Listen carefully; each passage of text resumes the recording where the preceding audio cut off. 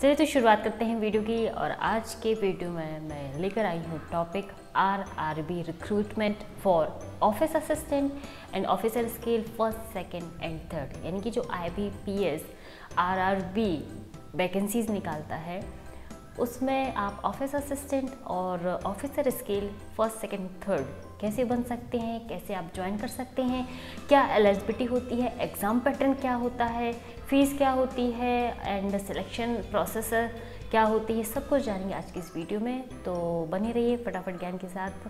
और यदि आपको वीडियो पसंद आता है तो आप लाइक कर सकते हैं शेयर भी कर सकते हैं। और सब्सक्राइब करना ना भूलें। बेल आइकन को ज़रूर प्रेस करें। जब भी कोई भी नया वीडियो आएगा, उसका नोटिफिकेशन आप तक पहुँच सके। ठीक है? तो सबसे पहला सवाल है कि जो I B P S C R P R R B जो वैकेंसीज निकलती हैं, आखिर वो है क्या? किसके लिए निकाली जाती है? ठीक है तो आर आर बी होता है आपका आर आर बी होता है आपका रीजनल रूरल बैंक ठीक है? अब रीजनल बैंक कौन से कहलाते हैं? रीजनल बैंक होते हैं, यानी कि ग्रामीण बैंक ठीक है? तो ग्रामीण बैंक आपने सुने ही होंगे। तो हर एक स्टेट में ग्रामीण बैंक होते हैं तो उनके लिए ये अलग से वैकेंसीज निकाली जाती हैं, ठीक है? जिसे कहा जाता है आरआरबी और ये I B P S C R P R R P vacancy के नाम से निकलती है तो यहाँ पर सी आर पी क्या होता है? जहाँ पर सी आर पी होता है कॉमन रिक्रूटमेंट प्रोसेस ठीक है? चलिए तो सबसे पहले बात कर लेते हैं कि ये जो एग्ज़ामिनेशन होता है, इसके लिए क्वालिफिकेशन क्या होती है for the post of assistant office and officer इसके ठीक है तो ऑफ़िस असिस्टेंट का मतलब एक तरह से आप समझ लीजिए क्लर्क ही होता है ग्रामीण बैंक में और ऑफिसर स्किल तो आप समझ ही गए हो कि ऑफिसर की पोस्ट होती है, ठीक है? तो कोई भी स्टूडेंट या कोई भी कैंडिडेट ऑफ़िस असिस्टेंट के साथ में ऑफिसर स्किल का भी फॉर्म फिलअप कर सकता है। यहाँ पर कोई भी रोक टोक नहीं है कि अगर आपने ऑफ़िस असिस्टेंट के लिए अप्लाई किया है तो आप ऑफिसर स्किल के लिए अप्लाई नहीं कर सकते। आप दोनों फॉर्म फिलअप कर सकते हैं। ठीक है? तो सबसे पहले बात करेंगे कि जो एग्ज़ामिनेशन है, इसके लिए एज लिमिट क्या होती है? ठीक है? तो सबसे पहले एज लिमिट देख लेते हैं। तो ऑफ़िस असिस्टेंट के लिए जो एज लिमिट होती है ऑफ़िस असिस्टेंट के लिए होती है 18 से 28 साल। वहीं पर हम officer skill first second third की बात करते हैं, जहाँ पर ऑफिसर स्किल फ़र्स्ट यानी कि असिस्टेंट मैनेजर के लिए है 18 से 30 साल। ऑफिसर स्केल सेकंड यानी कि जो मैनेजर है, उसके लिए है 21 से 32 साल। और ऑफिसर स्केल थर्ड यानी कि जो सीनियर मैनेजर है, उसके लिए यहाँ पर एज लिमिट रखी गई है 21 से 40 साल। वहीं पर बात करेंगे कि एज रिलैक्सेशन भी दिया जाता है गवर्नमेंट जॉब है तो एज रिलैक्सेशन तो मिलेगा ही। जहाँ पर ओबीसी की बात करते हैं तो थ्री इयर्स का रिलैक्सेशन मिलेगा। वहीं पर एस एससी जो कैंडिडेट होंगे, उनके लिए मिलेगा पाँच साल का, और वहीं पर पीडब्ल्यूडी की बात करते हैं तो उन्हें दिया जाता है दस साल का एज रिलैक्सेशन। ठीक है? बॉयज़ एंड गर्ल्स दोनों ही इस फॉर्म को फिलअप कर सकते हैं। चलिए नेक्स्ट जो इम्पोर्टेंट टॉपिक है या फिर जो कहें कि इस वैकेंसी के लिए आपके पास होना चाहिए, वो है एजुकेशन क्वालिफिकेशन ठीक है तो एजुकेशनल क्वालिफिकेशन क्या होगी अगर आप ऑफ़िस असिस्टेंट के लिए अप्लाई करते हैं या फिर officer skill first second third के लिए अप्लाई करते हैं तो सभी के लिए आपके पास होना चाहिए ग्रेजुएशन की डिग्री वो भी एनी स्ट्रीम यानी कि यहाँ पर आपके पास में ग्रेजुएशन तो होना ही चाहिए. चाहे आपका बीएससी हो, या फिर बीए हो, या फिर बीकॉम हो, आपके पास ग्रेजुएशन होना चाहिए। इसके अलावा आपके पास होना चाहिए कंप्यूटर लैंग्वेज साथ में लोकल लैंग्वेज का भी आपको एक्सपीरियंस होना चाहिए।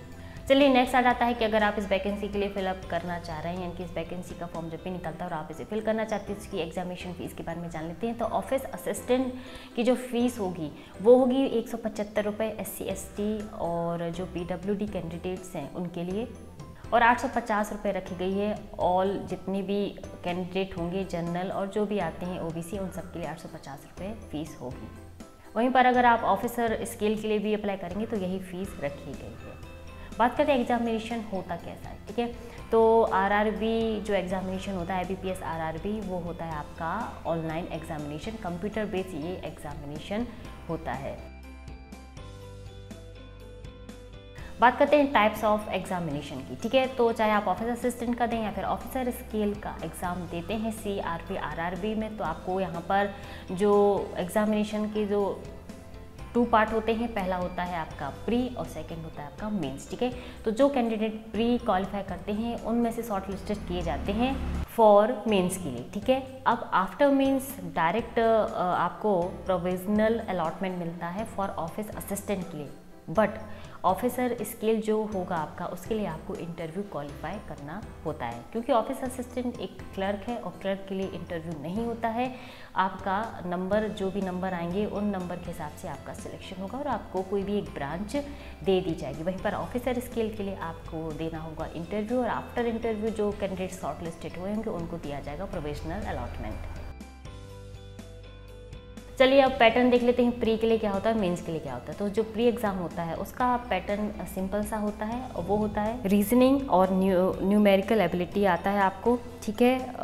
ये आपको दोनों के लिए करना पड़ता है। वहीं पर मेंस की बात करती हूँ तो ऑफ़िस असिस्टेंट हो या फिर ऑफ़िस स्किल टू आवर्स का यहाँ पर टाइम मिलता है आपको, दो सौ मार्क का क्वेश्चन होगा, जिसमें reasoning computer knowledge general knowledge English Hindi और न्यूमेरिकल एबिलिटी से रिलेटेड यहाँ पर आपको क्वेश्चन पूछे जाएँगे।